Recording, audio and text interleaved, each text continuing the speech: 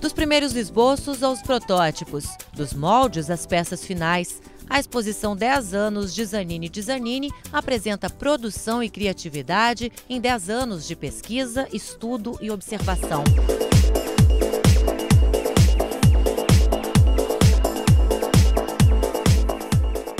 Zanini herdou a ousadia da mãe, cineasta, e o talento do pai, José Zanini Caldas, um renomado arquiteto, pioneiro da indústria moveleira. Desde pequeno eu, eu convivi com esse mundo, com esse ciclo de amizade dos meus pais, que era, um que era muito voltado para a cultura, para as artes.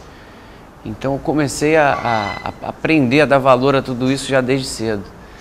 Então isso aflorou um pouco antes de eu entrar na faculdade, é, numa vertente de design.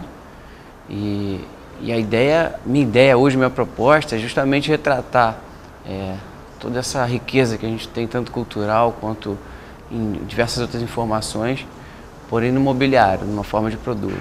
A exposição exibe peças elegantes, mobiliários sofisticados e exclusivos.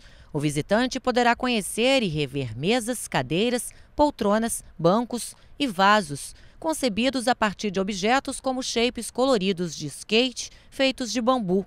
Um dos primeiros trabalhos produzidos por Zanini foi essa cadeira, que o remete à adolescência. Eu era uma, eu era uma criança, um adolescente muito imperativo, muito inquieto.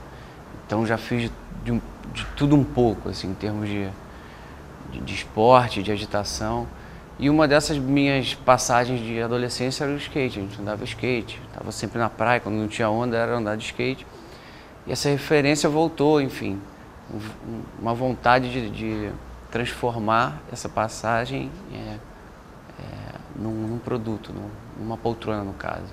Outros materiais inusitados dão forma aos móveis desenhados por Zanini, como chapas metálicas de 10 centavos descartadas pela Casa da Moeda.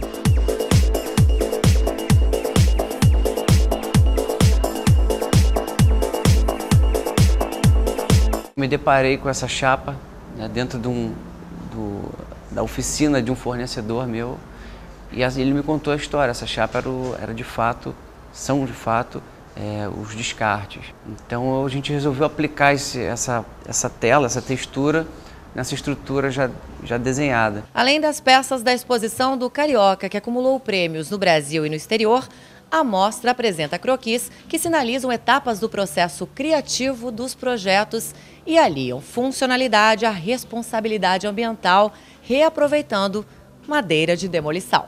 Cresci vendo meu pai é, com uma preocupação muito grande em relação já é, ao, ao, descarte, à reutilização de materiais é, usados, né, quer dizer, de materiais de, de construção então era algo que naturalmente eu iria aplicar por conta de fazer parte do, é, da minha personalidade já, né? de eu ter observado e, e, acompanhado tudo isso.